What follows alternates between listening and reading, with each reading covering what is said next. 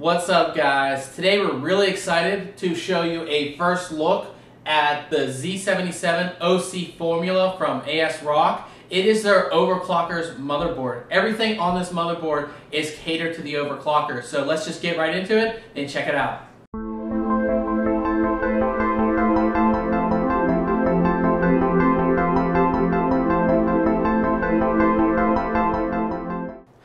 The Z77 OC Formula box is actually much larger than most motherboard boxes that we have seen.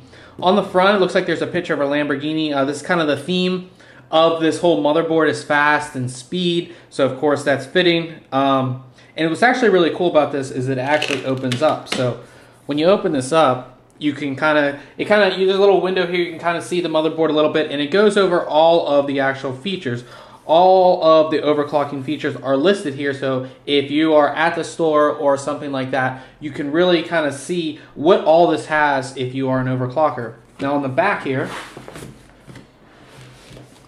it kind of looks like a dashboard a little bit. Kind of, you know, the whole speed thing. Um, 7 gigahertz CPU frequency and you know 3000 megahertz for the memory this is what they want you to get or what they you know what's expected Obviously, not everybody's going to get up to this, but this is what they have got on this board. Also goes over some of the other features. There's a lot of information on here and on the little pull-out section, but let's just get into it. I'm sure that's what everybody wants to see.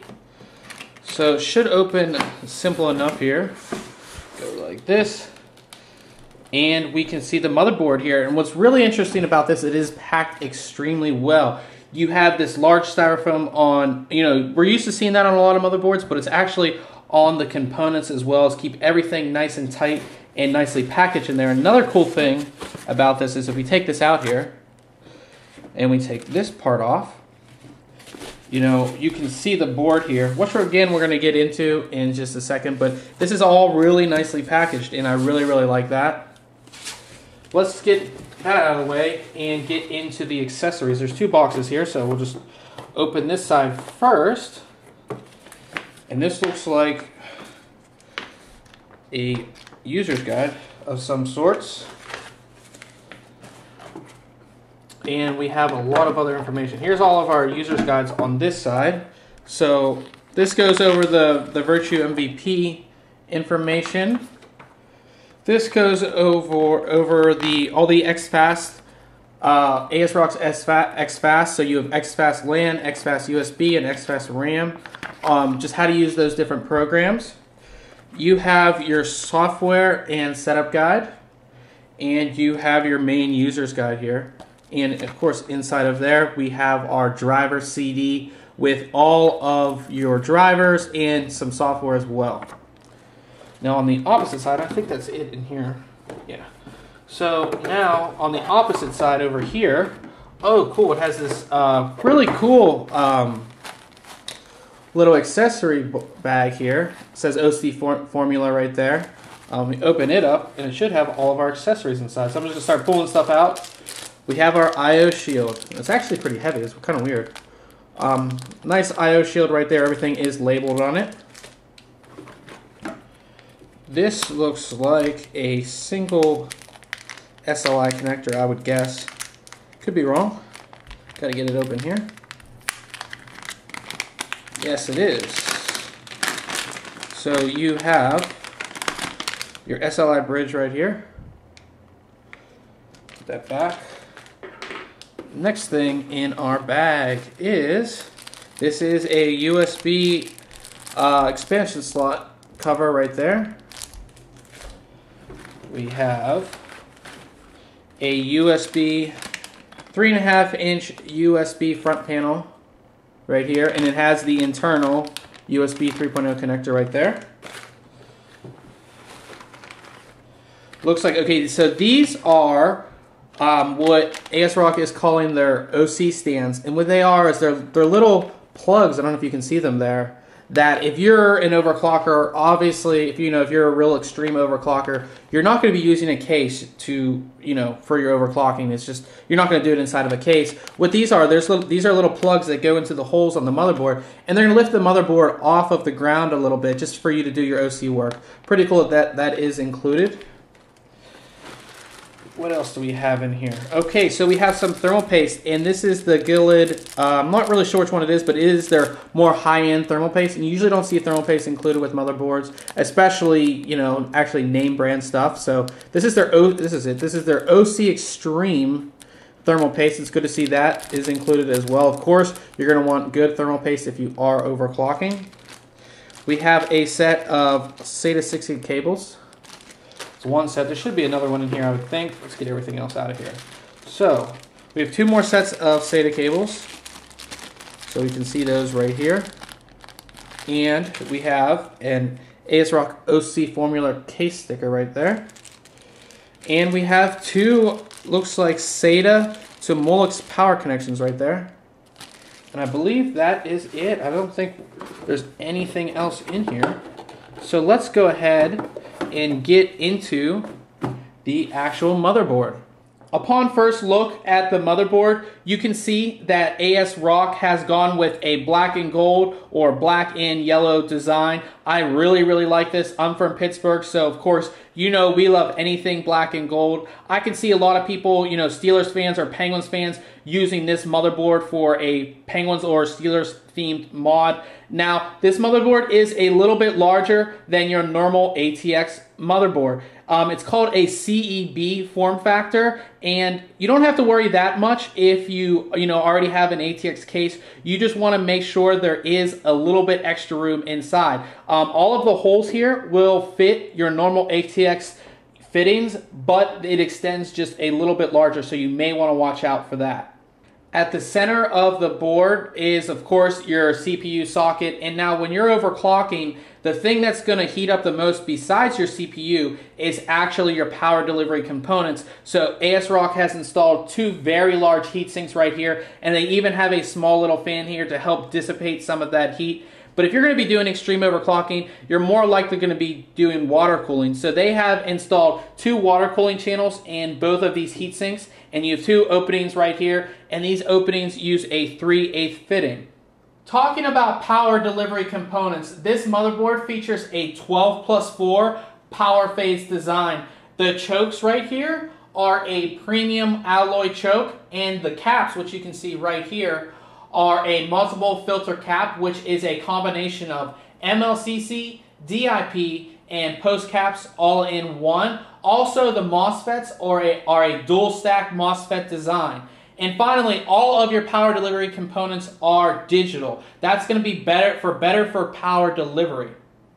Okay, so I flipped the motherboard around so you guys can see at the top. A lot of this stuff was hidden, you know, by the large heat sinks. We have our power connection right here for the CPU, and they have the normal 8-pin, but they have an extra 4-pin as well. And these are high-density connectors. And what that means is the, the way these connectors are designed, they're going to reduce power loss as well as temperature.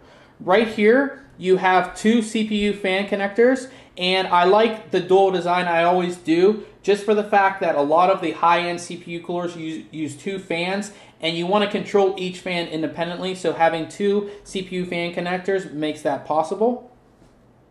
Moving over to the memory slots, you have four memory slots, and they are, of course, color-coded, black and gold, again, as I like to see.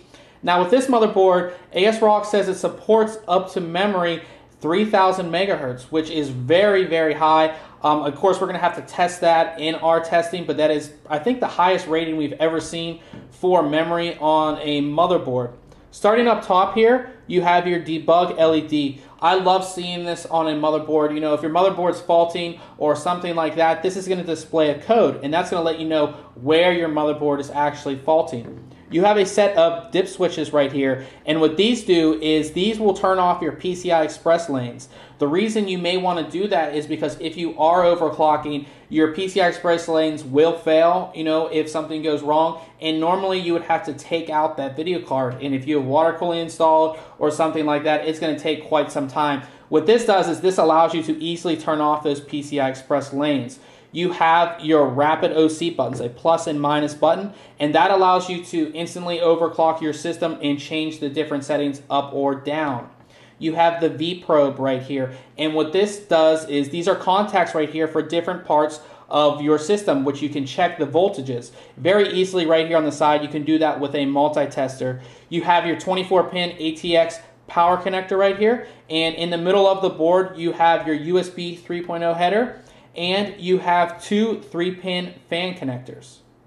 This board has quite a lot of SATA connectors. There are actually 10 total. So the black ones are SATA 3 gig and the yellow ones are SATA 6 gig. Now the SATA 6 gig ones, two of them are controlled by the Z77 chipset and of course four extra ones are controlled by the Marvell controller. Now these are in a 90 degree fashion so if you do have longer video cards they're one not going to block them and two they're going to be still easy to connect when you do have a video card installed.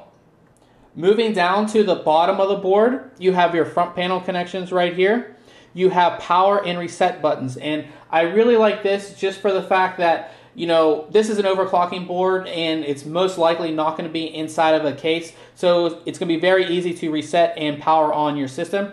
You have one, two, three USB 2.0 headers. You have two fan headers right here. You have a three pin one right here and a four pin fan connection right there. You have your power for your PCI Express lanes if you need it. Now, there's two things I don't like about this connection. One is that it's a Molex connector. I really don't like that. I would have rather have seen a SATA power connection. Two, it is angled out this way, so it's pointing down. The reason I don't like that is for the fact that if you do, in some cases, have this installed in a case, the Molex connections are large and you can't really bend them or anything like that. And this may block your power supply or the connector may get bent. You have a COM port right here, and you have your HD audio connections right here. As far as expansion slots go, you have two PCI Express 3.0 X16 slots. You have a PCI Express 2.0 X4 slot and two PCI Express X1 slots. As far as connections go on the back of the board, you have a PS2 dual slot right here. You have two USB 3.0 ports. You have a clear CMOS button. Again, this is always good to see on a motherboard. You have two more USB 3.0 ports.